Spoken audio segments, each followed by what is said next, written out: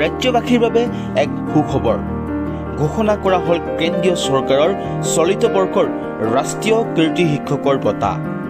দেশৰ পঞ্চাছগৰাকী শিক্ষকলৈ আগবঢ়াইছে এই ৰাষ্ট্ৰীয় কীৰ্তি শিক্ষকৰ বঁটা।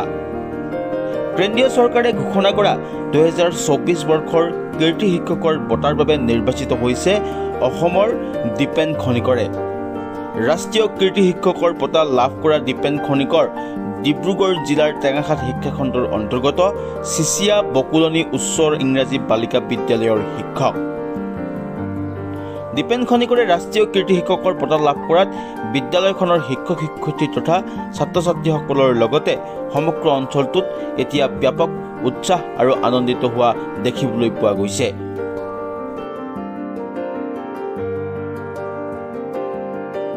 ৰাষ্ট্ৰীয় কীৰ্তি শিক্ষকৰ বঁটা লাভ কৰা দীপেন খনিকৰৰ ঘৰ দুলীয়াজনৰ দুই নং বকুলনি গাঁৱত। কীৰ্তি শিক্ষক দীপেন খনিকৰে শিক্ষক শিক্ষণ প্ৰণালী মনোগ্ৰাহী কৰি তুলিবৰ বাবে আনন্দদায়ক শিক্ষাদান যেনে পুতলা নাচ ক্ষেত্ৰভিত্তিক ভ্ৰমণ আদিৰ জৰিয়তে ব্যৱহাৰিক জ্ঞান প্ৰদান কৰি ছাত্ৰ ছাত্ৰীসকলক শৈক্ষিক সামাজিক আৰু আধ্যাত্মিক শিক্ষাৰে শিক্ষিত কৰি দেশৰ একোগৰাকী সুনাগৰিক ৰূপে গঢ়ি তুলিবলৈ অহৰহ প্ৰচেষ্টা চলাই আহিছে। যাৰ বাবে শিক্ষক দীপেন খনিকৰে ইতিমধ্যে জিলা তথা ৰাজ্যিক ভিত্তিত সুনাম বুটলিবলৈ সক্ষম হোৱাৰ উপৰিও শেহতীয়াকৈ কেন্দ্ৰীয় চৰকাৰে ঘোষণা কৰা ৰাষ্ট্ৰীয় পৰ্যায়ত কীৰ্তি শিক্ষকৰ সন্মান লাভ কৰিবলৈ সক্ষম হৈছে।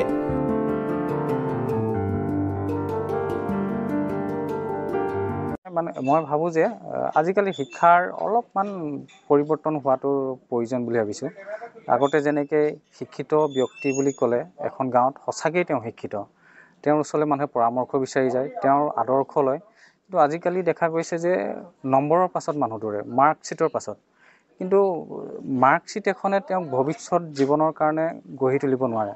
তেওঁ ভৱিষ্যত জীৱনটো সুন্দৰ কৰি তুলিব নোৱাৰে। ভৱিষ্যত জীৱন সুন্দৰ কৰে তেওঁৰ ধৈৰ্যশীলতা তেওঁৰ নিজৰ আৱেগবোৰ নিয়ন্ত্ৰণ কৰা আনৰ লগত ভাল ব্যৱহাৰ শিকা সেই সকলোবোৰ যেতিয়া ডেভেলপ হয় সেইটোক অলৰাউণ্ড ডেভেলপ বুলি কয় তেতিয়াহে এজন শিক্ষিত ব্যক্তি বা এজন জ্ঞানী ব্যক্তি হয় বুলি মই ভাবোঁ।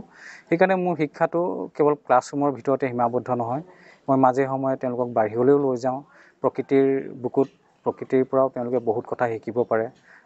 মই ৰিচেণ্টলি দিহিং পাটকাই বৰ্ষাৰণ্য যিহেতু এতিয়া ৰাষ্ট্ৰীয় উদ্যান স্বীকৃতি পাইছে। তালৈ নি তেওঁলোকক তেওঁলোকক প্ৰেক্টিকেলি দেখাইছোঁ যে এই অভয়াৰণ্যৰ ইক'ছিষ্টেম কেনেকুৱা। তেওঁ তাৰ গছ গছনিৰ বৈশিষ্ট্য কি তাৰ প্ৰাণীকুলৰ বৈশিষ্ট্য কি সেইখিনি তেওঁলোকক মানে প্ৰেক্টিকেলি অনুভৱ কৰাবলৈ চেষ্টা কৰোঁ। শৃংখলাটো হৈছে জয়ফুল লাৰ্ণিং মানে আনন্দদায়ক শিক্ষা। শিক্ষাটো মই ভাবোঁ কোনো বুজা হ'ব নোৱাৰে। শিক্ষাটোক বুজা বুলি কেতিয়াও তেওঁলোকক এনেকুৱা আমি এক্টিভিটি কৰিব লাগে যাতে তেওঁলোকে অনুভৱ নকৰে যে শিক্ষা এক বুজা। তেওঁলোকে খেলৰ মাজেৰেই শিক্ষা লাভ কৰিব পাৰে। আৰু তেওঁলোকে মানে নজনাকৈ তেওঁলোকৰ মাজত জ্ঞানৰ ডেভেলপ হয়। আৰু সেইকাৰণে মই ভাবোঁ মই অনুভৱ কৰোঁ যে মোৰ কাৰণে গোটেই বিশ্বই মোৰ কাৰণে শিক্ষানুষ্ঠান শ্ৰেণীকোঠা ক্লাছৰুম আৰু গোটেই প্ৰকৃতিয়েই তেওঁলোকৰ শিক্ষক। তাৰমানে আমি জাষ্ট তেওঁলোকক এটা পৰিৱেশ দিব লাগে যিটো পৰিৱেশৰ জৰিয়তে তেওঁলোকে স্বতঃস্ফূৰ্তভাৱে শিকিব পাৰে। কাৰণ আমাৰ প্ৰতিটো মুহূৰ্ততে জ্ঞান ভৰপূৰ হৈ আছে।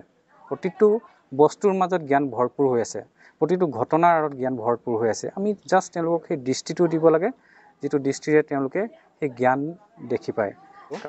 খবৰটো মই লাভ কৰিলোঁ সাতাইছ তাৰিখে আবেলি প্ৰায় পাঁচ বজাত। খবৰটো পাই পায়ে বহুত আনন্দিত হৈছোঁ। যিসকল মোৰ সেই এই আনন্দৰ সমভাগী বুলি ভাবোঁ তেওঁলোককে মই প্ৰথমতে খবৰ দিছোঁ। মোৰ মা দেউতা যিসকলে মোৰ শুভকামনা দিছিলে তেওঁলোকক খবৰটো দিলোঁ। আৰু ইয়াৰ কাৰণে আছে আচলতে প্ৰস্তুতি। মই প্ৰথমতে আমি নিজেই এপ্লাই কৰিব লাগে পৰ্টেল এটাত। এপ্লাই কৰাৰ পাছত জিলা পৰ্যায়ৰ পৰা ৰাজ্যিক পৰ্যায়লৈ চিলেক্ট কৰে। আৰু ৰাজ্যিক পৰ্যায়ত তিনিজনক নমিনেশ্যন কৰে। আৰু তিনিজনক ভিডিঅ' কনফাৰেঞ্চৰ যোগেদি দিল্লীৰ ফালৰ পৰা মিনিষ্ট্ৰী অফ এডুকেশ্যনৰ ফালৰ পৰা এটা সাক্ষাৎকাৰ লয় ভিডিঅ' কনফাৰেঞ্চৰ জৰিয়তে।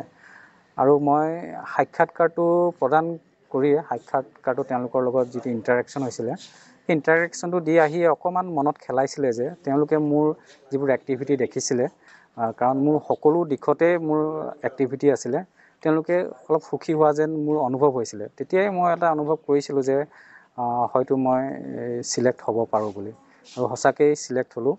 আৰু ইয়াত সকলোৰে আশীৰ্বাদ আছে। মোৰ গুৰুসকলৰ আশীৰ্বাদ আছে।